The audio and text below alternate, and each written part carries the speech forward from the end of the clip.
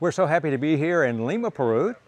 We've had our first camp possible for limb challenged uh, ladies here in this great city of Lima.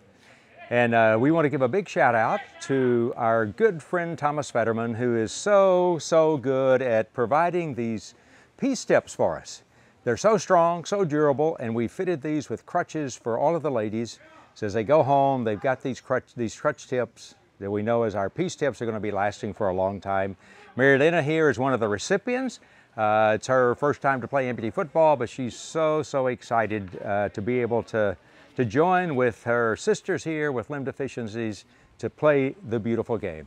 So again, we want to give a big shout out to you, Thomas Fetterman, for the good work that you're doing, all of your friends who donate so that we can provide these amazing Peace tips to those with limb deficiencies that are playing amputee football in the great country of Peru. Thank you.